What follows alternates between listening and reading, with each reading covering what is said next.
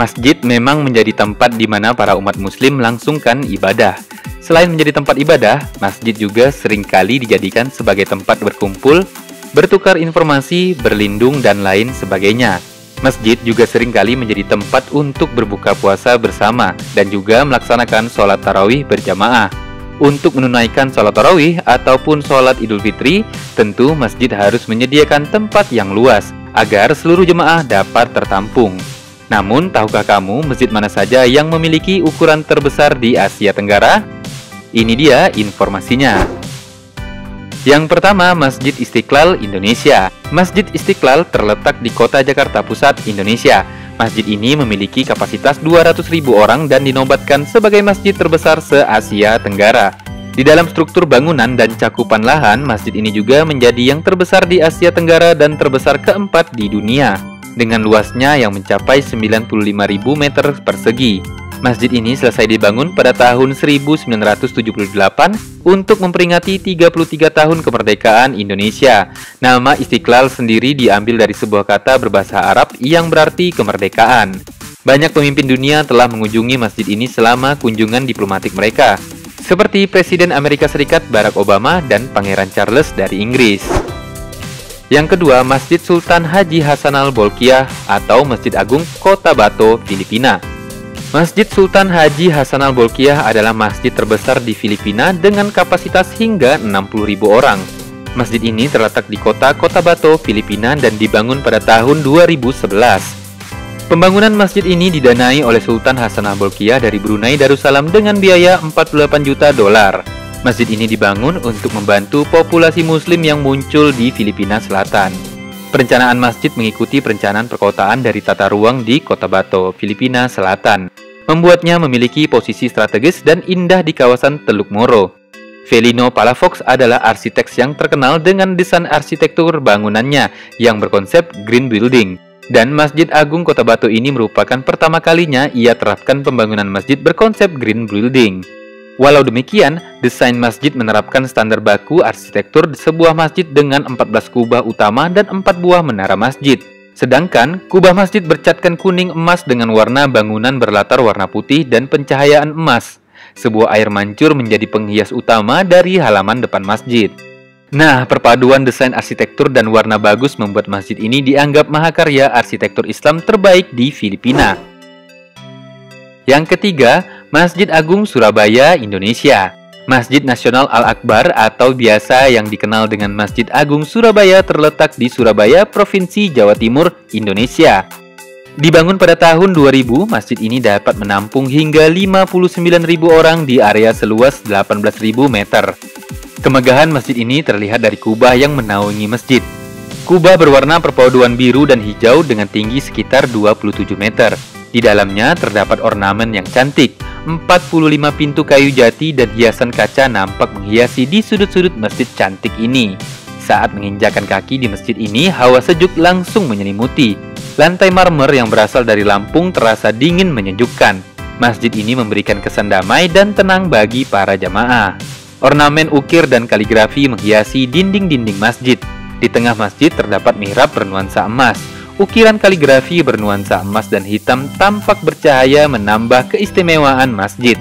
Elok dan megah, mihrab masjid di Al-Akbar merupakan mihrab terbesar di Indonesia. Di Serambi, masjid tiang-tiang tinggi berdiri kokoh. Tiang-tiang berwarna putih ini menambah kesan agung masjid. Nuansa Islami yang kental, interior gedung megah, dan tempat yang luas membuat masjid menjadi tempat favorit menggelar prosesi pernikahan. Masjid ini juga memiliki menara yang dilengkapi dengan lift yang dibuka untuk kalangan umum. Dari menara ini, kita dapat menikmati pemandangan kota Surabaya yang indah, terutama di malam hari.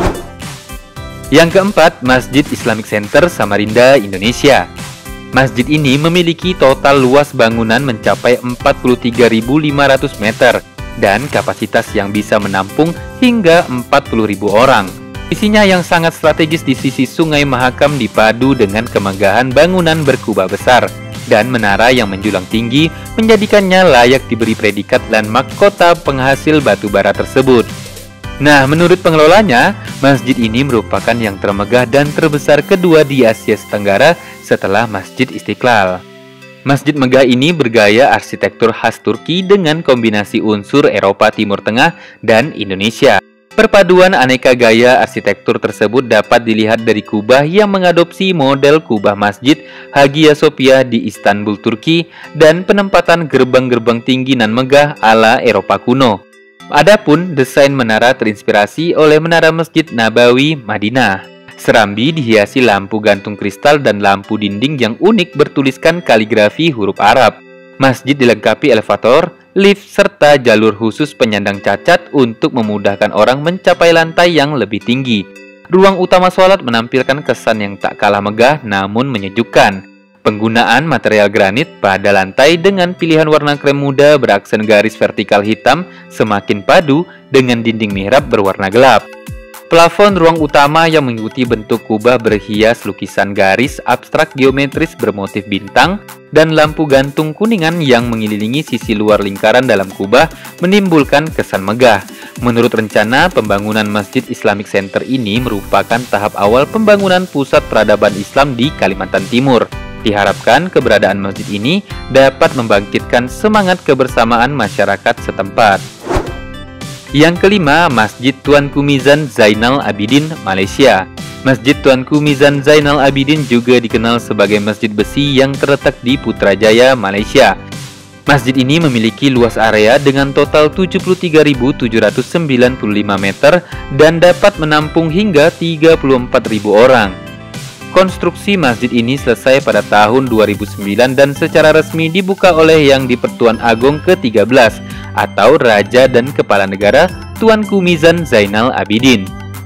Terbiasa disebut masjid besi karena sebagian besar material yang dipakai untuk pembangunan masjid Tuanku Mizan ini menggunakan besi dari berbagai jenis dan aplikasi.